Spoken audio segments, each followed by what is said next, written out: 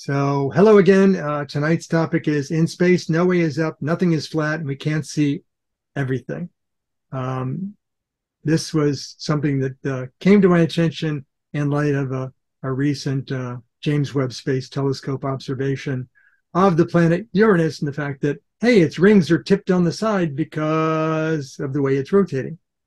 So I said, well, maybe not everybody's connecting the dots and realizing that's how the universe works. We'll cover that. So I started to start with some simple perspective. Um, until you start thinking about it, your bias of what's up is gravitationally affected. So if you're a person standing on Earth and somebody says, "Hey, which way's up?" You just, you know, you up, it's up, because you're pointing above your head because you know that your head is at the top of your body, so that must be up. But what about if you're floating around in outer space where there's no land that you're standing on? Um, which way is up? Well, it's still your head, right? That's up. No what way. if there's two of you floating in space and one of you is floating head up and the other one's floating head down? Now which is up? Well, whoever the commander of the mission is, his definition of up obviously is the only definition of up. Not really, because one person can be up that way, another person can be up that way. Well, okay, that's in space where no one can hear you scream, right? Um, but what about on Earth? Up is always the same, right? Right? Okay, if you're standing in the Arctic, which way's up? Well, it's obviously which way of your head's pointing. Okay, what if you're down in Antarctica? Uh, which way's up? Well, that would be south because that's where your head's pointing. Hmm. But you know, the earth is tilted on its axis. So even if you think north is up, it's not up. It's all your perspective of which way's up based upon gravity, the planet that you're on, whether it's tilted or not. So up is not really something you should use as a reference when you're describing where you saw something. Now you could say, from my location, I saw it at azimuth so many degrees and elevation or altitude so many degrees, and that's where I saw it in the sky. That works because you give a frame of reference and then you give a relative offset to that frame of reference. So when somebody says, Where did you see that? Oh, it's up in the sky. Okay. When was it and where were you? And now I know where in the sky it is. So everything's from your perspective. And then for those people that think it's flat, right? Well, you know, if you go out to the Midwest and you look around over a large open section of land, it all looks pretty much flat. And that's true. But you have to realize that gravity has an effect on things as they become larger and larger. And there's a hydrostatic equilibrium that will crush things into a roughly spheroidal shape maybe initially as like potato shaped, but eventually as it gets larger, more and more sphere shaped. So what you think of as flat land on Earth is merely a small field of view reference to something that's a larger spheroidal shape. So I'm, I'm not, you know, saying that people that think the Earth is flat have got it wrong. I'm, I'm guessing they, you know, realize that there are mountains on the Earth. So the earth isn't really flat, even if they think it's flat. But uh, if you've ever watched videos of things on the moon or space probes in space, when they point back at Earth and they take a 24 hour view, you can see that the Earth rotates on its axis. But don't get me started on those astrophysicists or cosmologists that refer to the universe as being flat. What they're actually referring to is the universe is uniform in density over extremely large distances. It's not actually vertically flat. Uh, the universe obviously has a height dimension. And uh, if you doubt that, then obviously the things in the sky above your head were just painted there to confuse you. So here's where you have to lose the uh, conceit. And people do get this if they don't focus well enough on things around them. Um, not everything is pointed at you. Think about the sun, for example. We are on Earth. Earth is orbiting in the plane of the solar system. It's orbiting around the sun. Have you ever seen the north or south pole of the sun? Well, you're in the plane of the solar system. The sun's not all that tilted to the plane of the solar system. So, no, you cannot directly view the north or south pole of the sun. What about the north or south pole of Jupiter? Well, Jupiter's pretty close to the uh, aligned with the plane of the solar system. So, no, we've not seen direct visual evidence of the north or south pole of Jupiter. However, I've included two pictures here. The bright one that has a little yellow and white in it, that is the north pole of the sun. But we had to have a space probe go on a very long elliptical orbit that slowly tilted and eventually it got to go over the top of the sun. It didn't go underneath the bottom of the sun because it was kind of a, a wobbled orbit. So it was closer to the North Pole than the South Pole. So it took a picture of, for the first time ever, yeah, the camera had crosshairs on it. The crosshairs intersect at the north pole of rotation of the sun. And the one that's turquoise, just to the lower right of it, that is one of the poles of Jupiter. It's the south pole of Jupiter, in case you were confused. Um, but the poles of rotation of a planet always look a little different than the equator because things are moving in a circular direction as opposed to a lateral direction. So that's why they look a bit unusual. And if you could see them in motion, it would be obvious that the planet's rotating underneath it or the sun is rotating underneath it. But uh, the blue uh, streak with the purple dot underneath it imagine that's a pulsar, and the pulsar is a rotating neutron star, and it's spewing radiation, mostly in radio bands, but uh, sometimes in X ray. And it's sweeping across the sky on a very regular basis.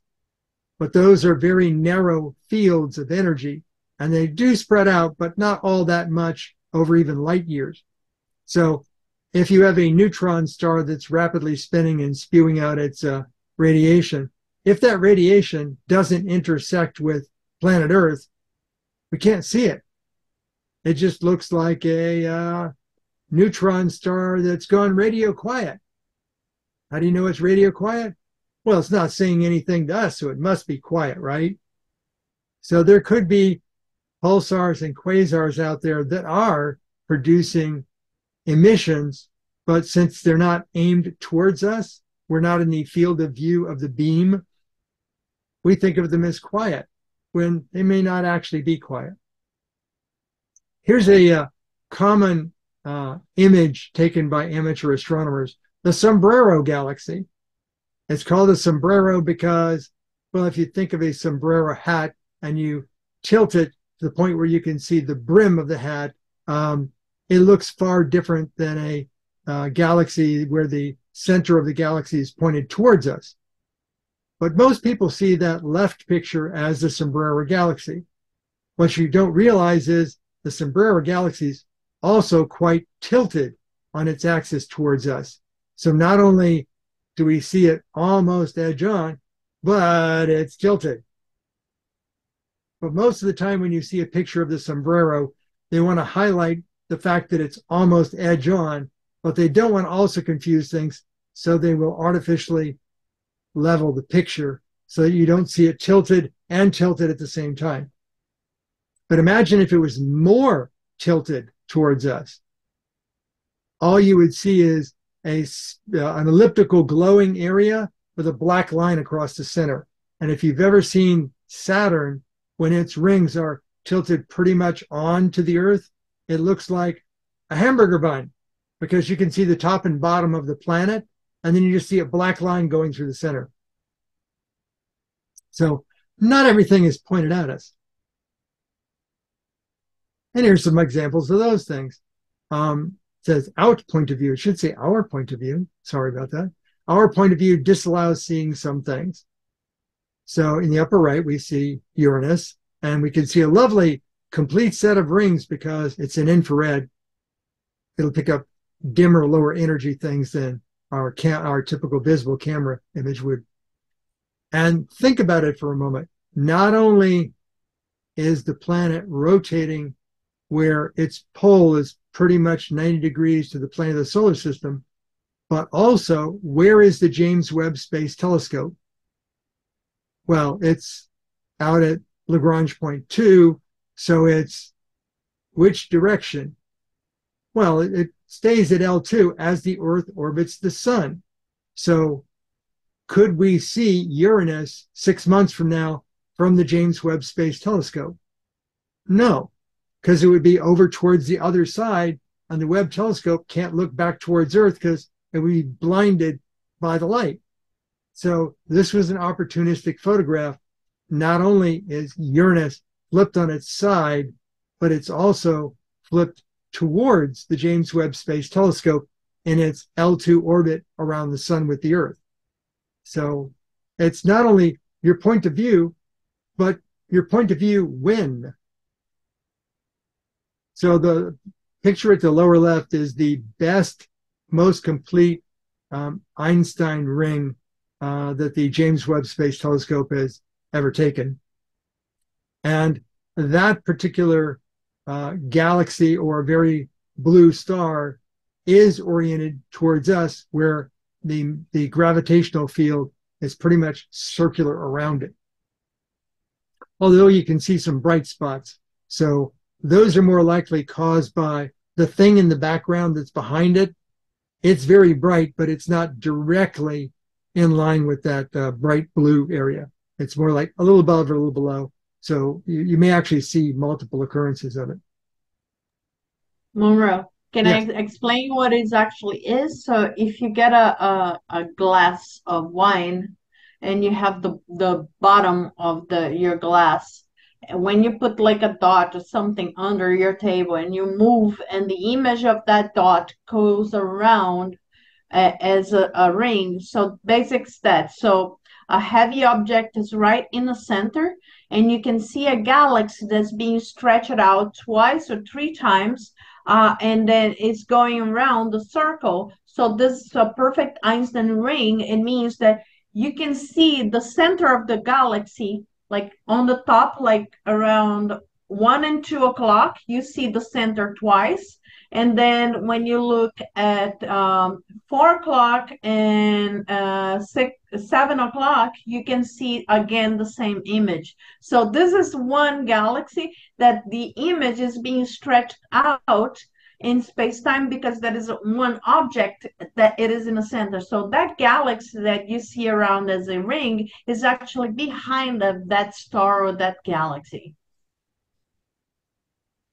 Yeah, and the gravitational mass, the blue thing in the center, is aligned with us so that we can see the ring.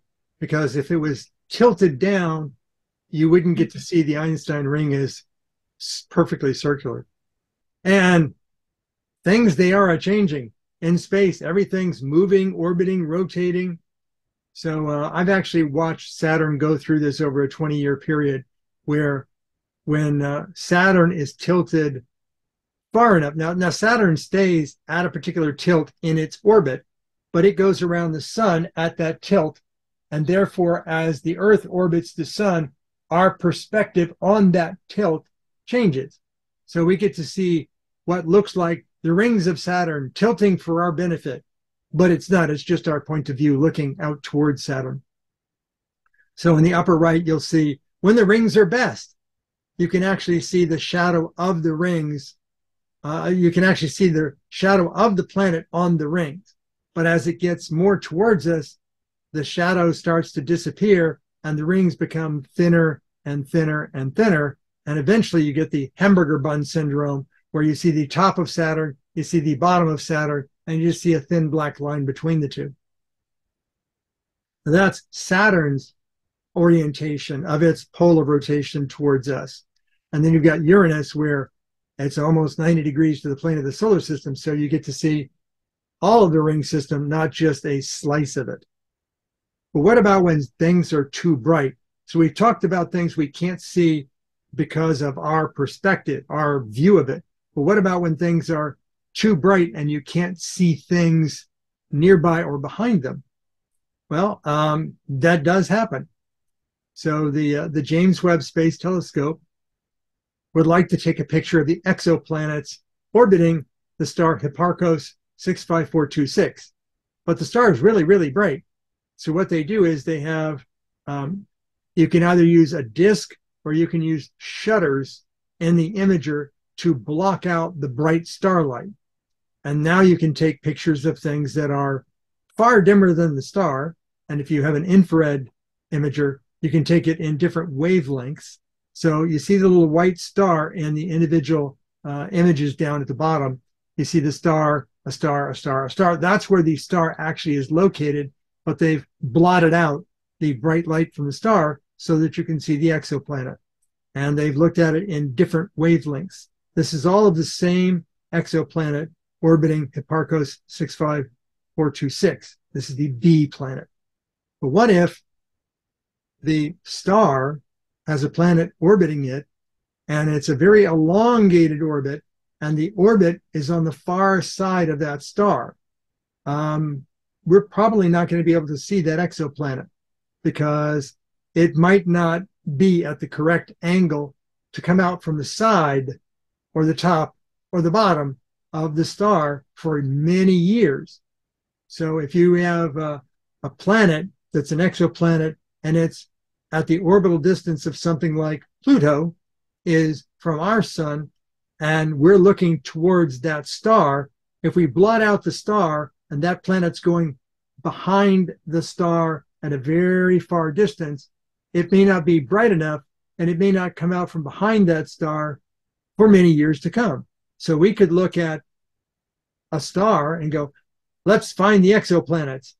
And we don't see any wobble because it's so far away and moving so slowly. And the wobble would be towards and away from us, which is harder to measure.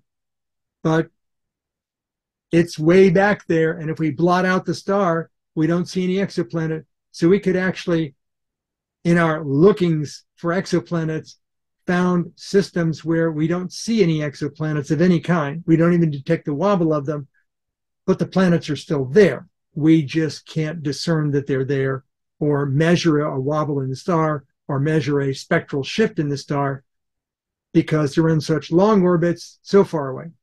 So we're getting into the it's there, but you can't see it. So here's another one. Some things are too dim if the brightness of something falls below the threshold at which the photons would produce electrons that then you can count, it may be that it's not the particular wavelength or frequency of the photons. It may be there are just so few of them that you're not collecting enough energy in your detector to say, I saw something. So what we use is photomultipliers. These are either tubes or solid state semiconductor circuits that literally add voltage as a side to bump the signal you're seeing. So it, it's essentially like using a magnifying glass at the electron level. Uh, you have electrons flowing in, you add more electrons to it to boost the signal. So you take it from um, picoamperes. People have heard of amps, they have amps in their house. Well, let's see, a nanoampere would be one one thousandth, one one billionth of a of an ampere. Take it to the next level. A picoampere is one one thousandth of a nanoampere. That's at the level we're able to detect things nowadays is picoamperes. But what if it's even dimmer than that? We wouldn't detect it at all. But what if it's just a couple of picoamperes and we jack up the signal with a multiplier? Uh, the multipliers add noise and noise can come from a number of different sources, most of which is electronic infrared heat due to the circuitry of whatever you're using to pass the signal. Well, you can super cool that stuff, critically cool it in like liquid nitrogen or liquid helium, and that'll get rid of some of it, but some will remain. And if you amplify it too much, your signal can get embedded in your noise and therefore you can't claim that you've received signal. You've just received a lot of noise and you can't pick the signal from the noise somewhere where you know your signal to noise ratio is so low you can't claim you've actually detected something. So sometimes things can be too dim, too far away, can't pick up enough energy. And that's flux. That, that's not to do with the wavelength or frequency. Now we get into wavelength and frequency.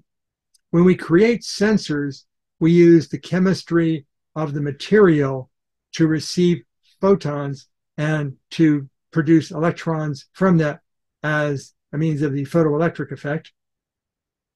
So we'll take in the photons at a particular wavelength based upon the chemistry of the material we're using for our detector. If the chemistry of that material is not lined up properly with the wavelength of the photons, even though the photons are there, it will not be in the bandwidth of the detector and therefore it will not detect it. Think of it like a radio tuner. Um, if I tune to a certain band, I can only hear the radio station that's there. If I were to open up my band spread and hear a much wider band spread, I would get lots of noise from all the other radio stations broadcasting at different frequencies. So what I do is I create my detector to look for, you know, specifically infrared or ultraviolet or X-ray or gamma. I create the detector with chemistry specifically so I can see in that range. Well, there are bands and notches. So I can't create a universal detector that can detect anything. I create a detector that can detect a certain band spread. And I can create another detector that create that is sensitive to a different band spread. What about the gap between the two band spreads? I hear nothing. I know nothing. Um, so you can be sensitive to a particular wavelength or frequency and have more than enough flux but it be just outside your sensitivity range and you're not going to detect it. There are things called harmonics that you might be able to detect if you're at the correct wavelength distance from the central peak, but that will be at a lower amplitude. So you got to have the right flux, the right wavelength, which is the right energy. And then again, it could be pulsing too fast. Too slow, we got no problem. That leaves streaks. But what if things are too fast, a cycle? There's these two guys named uh, Nyquist and Shannon. You can look them up. That um, they basically say if the frequency of occurrence, not the wavelength of the photon, but the actual pulse width of the occurrence, is such that it's happening twice as fast or faster than your sampling, you might not ever see it. And that's why we make our analog to digital converters, our ADCs, sample at faster and faster rates. But if you sample way fast, you'll find that the number of bits per sample also gets reduced. So, for example, audio, computer audio, it started out at 22,000 samples per second with uh, an 8 bit sample. Then they got to 16 bit samples. And then they found out if I sample really fast, like 96,000 samples per second, I can pick up all that I need to. Plus, I can actually watch the shape of the waveform because I'm monitoring it going up and down. So I don't really need a lot of bits. If I just have one bit that monitors it up and down as the sample changes, um, I don't need like a 24 bit sampler. I can have a one bit sampler and it actually has a bit sample behind a bit sample stack. So that's how we do it with audio. When it comes to visual, we've got uh, you know the, the wavelength based upon the material that's the sensor. In the case of radio, we have samples per second. So how many samples per second I'm taking can limit the actual uh, frequency of what I'm picking up because it's happening too fast for my receiver uh, people know this um, in in the world of like videos on the internet where somebody says, "Watch me shoot this bullet," and you shoot it, and all you hear is noise and then an explosion at the distance, maybe a flash at the gun. You don't actually get to see the bullet travel across the sky.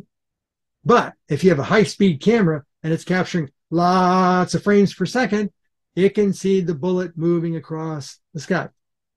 So the same sort of thing in other technologies if you want to pick up a signal that's at a very high frequency, you better be sampling at a very high rate. And this is one of the things that um, they're improving the gravitational wave detectors. They want to be able to collect very much higher frequency gravity waves because right now they're they're kind of lethargic. You know, it's it's lower frequency gravity waves. Uh, kind of like it's easy for a human being to hear hum. It's a lot more difficult for you to hear an ultrasonic transducer because it's happening so fast. Your ability to hear it is limited because your brain doesn't sample that fast. So here's the consequences of all that stuff. So if there's no photons headed our way, we can't have the photons convert to electrons to allow us to detect something. So we can't see it. Probably why uh, black holes are black, not because their color is black, but because we're not getting any photons from them, or we're getting a flux that's so low that we can't detect them. Or maybe instead of looking in the electromagnetic radiation, we should be looking in gravity waves. Although we still rely upon um, you know, photons creating electrons, and that's how we measure even gravity waves. But that's due to a uh, uh, interferometer effect, and they're actually working to improve that. But we'll also not be able to detect photons if they're going in a direction other than towards our sensor. And if the energy level is too low and we can't amplify it enough without getting into noise, we won't see it again. And if our sample rate's not good enough, we won't see it again. If there are too many dist- distracting photons, there's a bright thing in the way, still won't be able to see it. And if it's hiding out behind it, still won't be able to see it. So you start to get the picture that if distributions of energy are spheroidal and they're uniform, there's a lot of stuff out there that we cannot detect. We can't observe it. So when we declare something as dark, like dark matter, um, is it something that's unseen or is it something that we just, with our current technology, will never be able to see because it's behind something, it's not pointed at us, it's too low a level. It's there, but we just can't see it, can't observe it, can't detect it. But we know for sure it can't possibly be that. Well, how do we know that? Well, um, if you grew up learning astronomy, you realize that we went from a few million stars in our galaxy to a few hundred million to a billion. So now we're talking about our galaxy having over 100 billion stars in it. Well, same thing's true of galaxies. In the 19 early 1920s, we thought Milky Way was the only galaxy in the universe.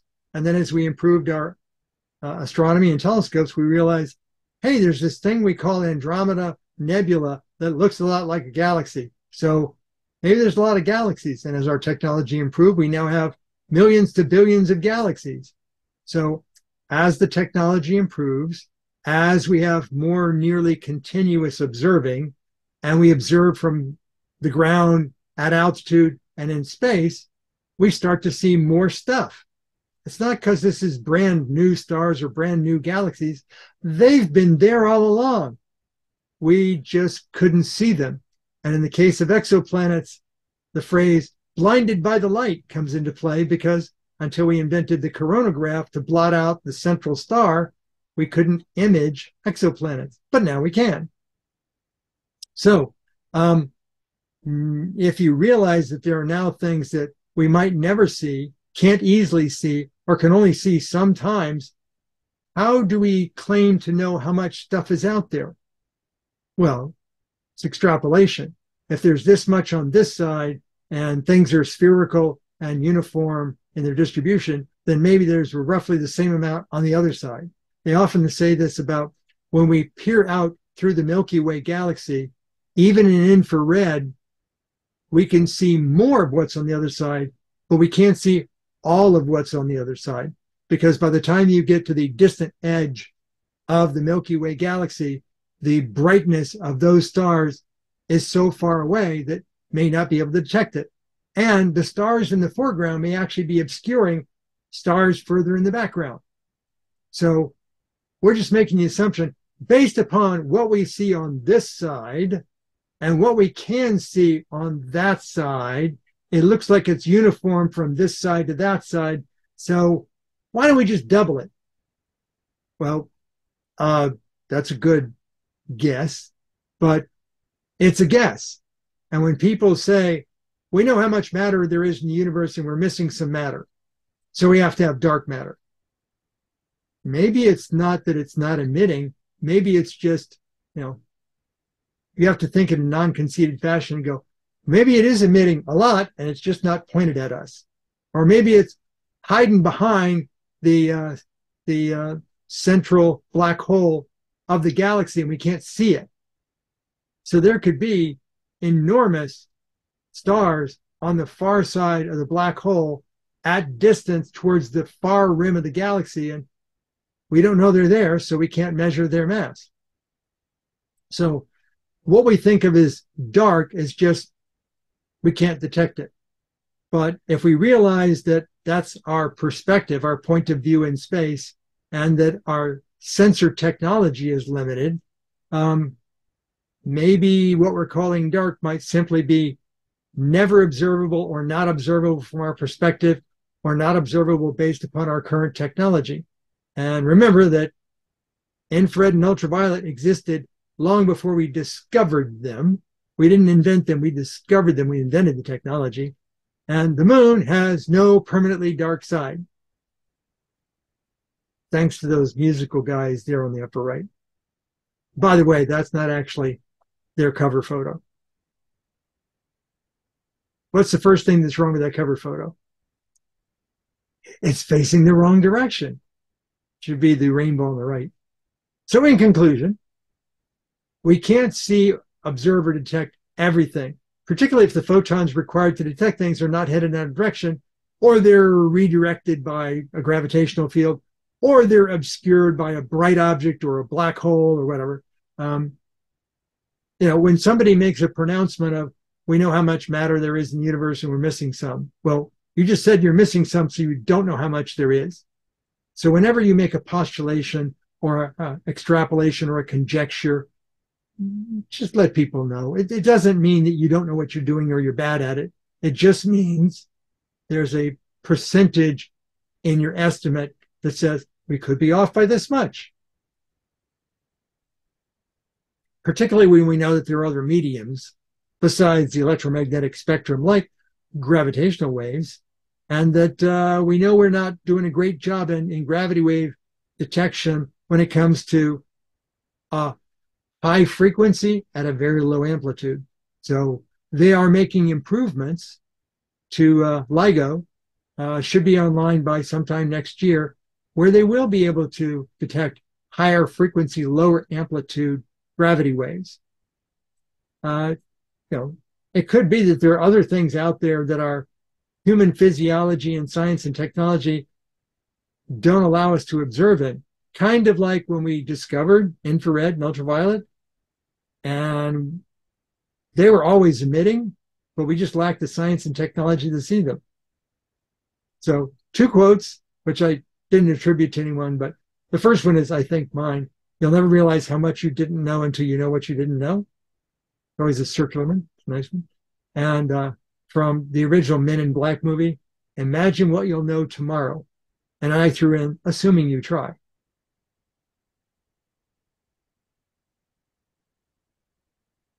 And for those people that aren't familiar with them, I threw in a little something about the photoelectric effect, that Einstein guy again, uh, and then the Nyquist Shannon. When I was growing up, it was just the Nyquist theorem. And they went back and went, hey, hey, hey, Shannon needs to get a little vote in that too. So it became the Nyquist Shannon theorem. And the advanced LIGO detector, there's a Wikipedia article on that. So people can learn more about how much LIGO is improving and the fact that they're going from um, a Michelson interferometer design to a quantum detection design. So not only are they improving the technology to be higher frequency sensitive and have a higher sample rate, they're also improving the lowest possible signal they can detect. To quote a uh, Vulcan, fascinating. Okay.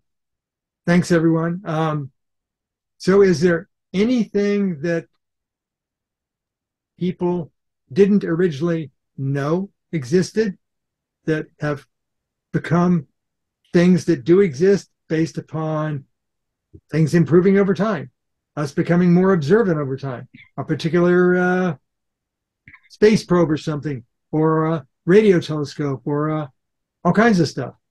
Well, no, nobody knew about germs. Germs were not visible. You have to look into the history of the microscope. Lavoisier used to bring his loupe microscope to social parties, and he put a drop of pond water in the uh, loupe microscope and let the you know the general public that was at his social events look at all the stuff in the water, and it would just freak the hell out of people. Yeah. I'm drinking that. Yes, you are.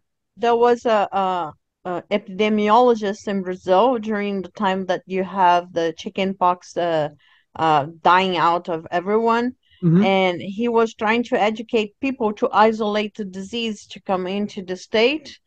And so, uh, what what he did, he went to like communities and explained that the the it's uh, the vi- the virus, the bug that kills you, that gives you chicken pox.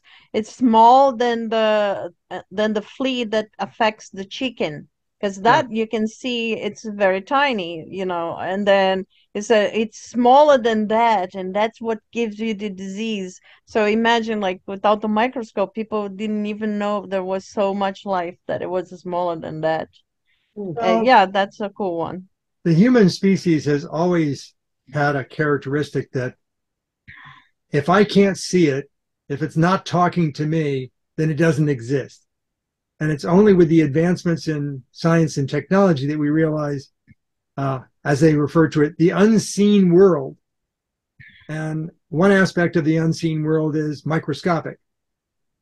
And when you start seeing what scanning, tunneling electron microscopes can see, um, they're down to uh, small numbers of nanometers but that's not the smallest things in the universe. There is a thing called the Planck length that gets down many, many thousands of times smaller than the smallest thing we can currently see. Um, you know, we, we're talking about not just nanometers or picometers, but attometers.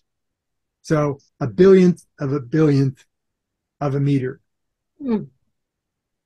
And the other that's where physics that's normally out. invisible to us, that it's something that it's applied is when you start to doing spectro uh, spe- uh, spectroscopy, spectrophotometric uh, measurements. This was started to, you know, just a curiosity that you put in a flame some salts and see the lines, and then you start to understand that you can figure out what atom is that just because of the those lines. And with that science that started in a laboratory as chemistry and becomes the basis of astronomy to how do you know the composition of things in space so far away and also medicine because you use those uh, uh, uh, uh, spectrum spectrometers as you know you get a, a, a prick on your finger, you put a little drop of blood, and you put inside the machine. That's nothing more or less than a spectroscopy, because uh, you know it is actually measuring the light that's going through that hmm. little mm. tab that you put inside and that light will see the lines of the elements they're blocking or emitting depending on what kind of energy you're using and you can know the composition of your cholesterol, your sugar. You can know the composition of a bunch of things that you look on your blood and your plasma. And also you can look at, at the composition of stuff that's mm-hmm. so far away in space. So you, you can see the chemistry, the temperatures, how far they are, how fast they are moving away or toward us, just because you use a simple science that, you know, started a, a long long ago with you know people putting salts and flame and seeing the lines that form and especially you know the same kind of science that you see the colors in, in in fireworks. It's it's the same science, you know. It's chemistry that's going to the small in the laboratories in hospital or to the large in composition of galaxies and stuff far away. So it's really cool. But it's one thing to think of it as as astronomy, it's astrophysics, it's things far away. But the one that will affect you directly is a technology called Masimo. That's the name of the company. Rainbow technology. When you go by an SpO2 meter, a uh, blood oxygenation meter, and you stick it on your finger, what it's actually doing is it's shining different colors of light through your finger, through the tissue of your finger, and it's got a little tiny camera that senses a color picture of that small area. And then it does a wavelength analysis of the colors in the image to see what the peaks and valleys are, kind of like a poor man's spectrograph. And from that, it can detect is your blood properly oxygenated by the amount of iron hemoglobin they can see in the colors of the image coming out of it. So, a few years ago, those were shown to be not as accurate for people with darker skin. Yes. Has that been corrected? Um, the correction that they did was they changed the wavelength from a single infrared wavelength to green. And by using green, the light will be uh, more transparent to pretty much anybody's skin. But the and then it works on they, Vulcans too. Yeah. Well, the problem that they still have is people with thick skin. There are people that work in um, certain milling environments where they have a lot of calluses on their fingertips.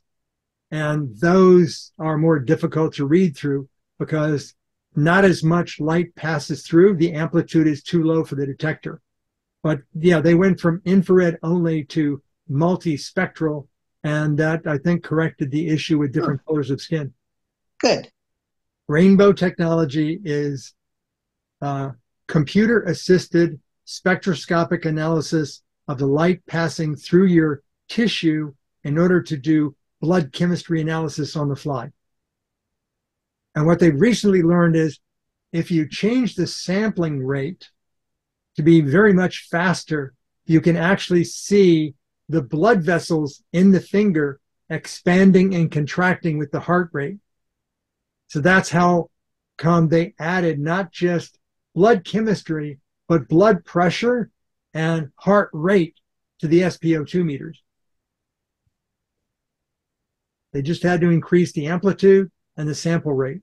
And now they can detect additional things. They're still working on the tricorder though. I'm guessing they'll have it soon there are already I I, I heard that it's it's coming. It's you know, coming. There there are already technologies that you can buy that would be equivalent to a bio bed, where you just lay down on this bed and there's a special pad under the mattress, and it actually sends pulses of energy into your body. Don't affect your body any. It's kind of like an MRI thing. It sends the pulses in, and based upon the emissions and the reflectivity, it can determine your heart rate, your respiration, and your blood pressure. By just so, laying on the uh, bed. Uh, no waking you up with the little begging. Exactly. And yeah. even better, the company that wants to own that technology, that um, they want to be able to have bio beds. So this would be an intelligent bed that's connected to the hospital network that you would no longer have to wake the patient up to take vital signs measurements and you would no longer have to get the patient to move around in order to do body mass measurements, which people that have been through burns, um, people that are obese, people that have been through uh, you know cancer removal surgery, their body mass, their weight is very significant to the, the level of health they have. So having almost continuous measurements of their vitals and their body mass and their weight is very meaningful to improving the quality of health in these patients. So, uh, yeah, things are advancing. They're advancing because large companies want to dominate marketplaces, and the best way to do that is to have technology that no one else can have. It's not that they hide the patent in a drawer and never bring it to market. It's that they get the lawyers ready, they bring the technology to market in an updated product that everybody's got to buy, and it's new and expensive because it's got the new stuff in it. But it removes things like bothering the patients, which improve the, cu- the customer satisfaction scores. If you've ever worked in a hospital, you'll know there's this thing called Press Ganey scores. And Press Ganey scores are money in the bank when it comes to a hospital. It's patient satisfaction in surveys. So if you don't have to wake the patient up to take the vitals, if you don't have to get the patient to move around to measure their weight every morning, if if you can also detect when the patient's moving around in the bed when they're not supposed to, hey, I thought they were comatose. They must be awake now. Or they're supposedly bedridden, but rather than being embarrassed and using the bedpan, they're about to try and get up out of the bed and fall, and you have a fall injury. So, yeah, all these advancements in technology are really helping to make healthcare better if the hospitals can afford the technology. So, as long as it's owned by a large corporation charging a lot of money for the advancement, kind of difficult for all of us to get benefit from it. Uh, Monroe, Yes. um, I was in the hospital last week for a hernia operation, Yeah. and and I can assure you, uh, uh, even beyond patient satisfaction, if somebody has a bed where a nurse doesn't need to come in and take your blood pressure or your temperature or or your vitals, uh, if they can keep a nurse from having to go in there, um, the big money is not high is hiring less personnel. Yes, the big money is how many more patients can one nurse serve per shift? But I even tried working on that uh, when I was working with Philips, actually Emergent beforehand. Um, I saw the promise of digital picture frames. And I said, if I can write software that will send updated JPEGs to a digital picture frame, then I can take data from who is the nurse currently on shift for what patient, synthesize a JPEG of the text of that information, and send that to the picture frame so that when the nurse comes on duty at the start of their shift, they just log in and say, I'm here, I'm ready to serve my patients. And I can automatically, as the pickup of their their you know login, manufacture that up for the patients they've been assigned to serve, and then send that to a digital picture frame on those patients' rooms so that the display would automatically update and say, Your nurse for this shift is Judy. Your uh, uh, you know your assigned uh, hospital assigned physician is Dr. Brown. Um, I could put that information out there, and I could have the current time and date in big letters and numbers, and I think the patients would love it. And I had a hospital administrator say, Do not bring that to my hospital. I said, Why not? Because it removes one more reason why the on staff physician or the on assignment nurse does not look in on the patient to see what's going on. How are you doing? What's your pain level? All that kind of stuff. Another technology company came out and said, We've got a solution for that. We'll, we'll put a, a, a little robot camera that will drive around from room to room and have the smiling face of the doctor on the display and a microphone and a camera pointing at the patient. And the robot can walk up to the patient and say, Hi, I'm Dr. Brown. How are you doing today? Some hospital test complexes signed up for that and went, Get that the thing, my patients. It's scaring the crap out of them. So I, I there are advances in technology. creepy. There uh, are advances in technology. Well, some people just refer to it as that thing's creepy. you know, having the face of the doctor walking around. And some of the technology companies actually made the display head shaped, almost as if it was projecting the face of the doctor on this floating head. And oh, like, Oh well, no, get it's that thing the even hell worse. It's even worse. But Well, where it did help was on the back office stuff. So you've got dumb waiters and pneumatic tube delivery systems and robotic delivery systems that are working in hospitals to take labor off the staff, to take reliability of delivery off the staff, off like when you when a doctor puts in his prescription for a particular uh, pharmaceutical that the patient needs right now, um, you can have somebody hot-footed over to the pharmacy, pick up the immediate order and bring it right back and you know jab it into the input to the uh, the infusion pump. That's great, and you may actually have those critical meds on stock in the care unit. But what monitors when you run low on that and gets another order from the pharmacy? They now have cabinets that when you open the drawer, the particular drawer is for a particular med. And when you open the drawer and you put by weight a certain number of vials of that med and you close the drawer, it knows what the inventory is. And then when you open the drawer, you take one out, you put the drawer back, it knows when you're getting low. It can automatically issue a new restock order, not a patient admit order, but a restock order for the care unit to get more from the pharmacy, and it can be delivered by robot. There are advancements going on. Technology is not sitting still. There's always a new company coming along that goes, if I just had this, it would be better than sliced bread, and I'll corner the market and have a monopoly, and I'll make billions in my eyeballs. And you know, if it really does work out that well, some even bigger fish, most likely a shark, is going to gobble it up before it ever sees the light of day or before it ever gets to be a multi-billion dollar company. Yes, things they are improving. Don't worry about that aspect of it. Just worry about whether or not your local hospital can afford to deploy it. Not just hospitals, but restaurants. When the waitress oh. takes the order, the order more potatoes or whatever. Yeah. How about, how about this one? Panera Bread. Panera Bread restaurants. How do they know to come to your table? Oh, that's easy. Well, they give you something and you take it to your table and you sit it on the table. Yeah. How do they know where it is? That's because your table has an RFID tag in the table. And when you plop the little thing down on the table, it sends the RFID code of your table back to the people in the back part of the restaurant. And when your order completes, they know exactly which table to bring it to.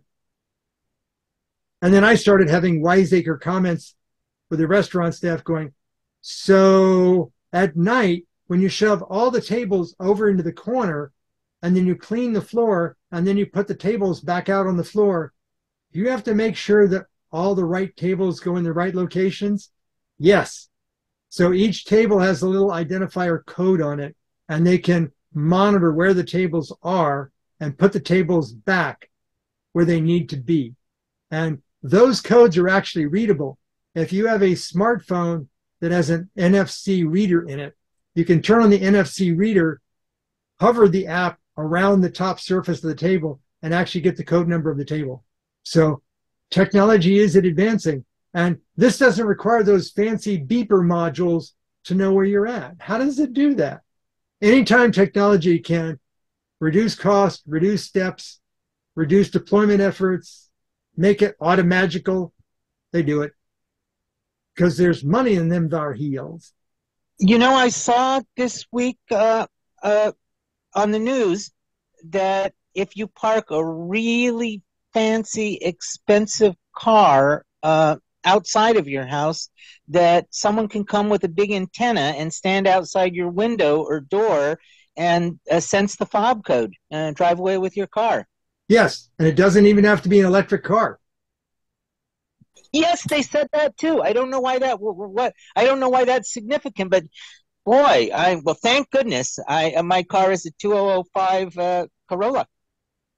Well, my car is a 2010 Ford Expedition, and the driver's side automatic door lock is broken, so I have to use the key, a physical key. Mm-hmm.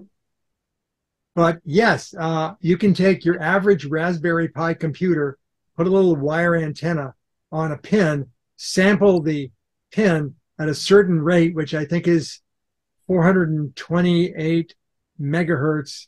You double that, so around uh, uh, you know a million samples, uh, sorry, a billion samples a second, gigahertz, and um, you can sample it and collect the signal if you see somebody push the button on their remote or walk up to their car and use NFC, you can sample the radio signal, record it, and the next time they park their car there and go inside the house, you just replay the digital transmission and you transmit the radio signal. The car doesn't know any better.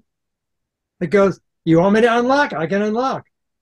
And these smarter cars nowadays that don't even have to be electric, they can even start for you.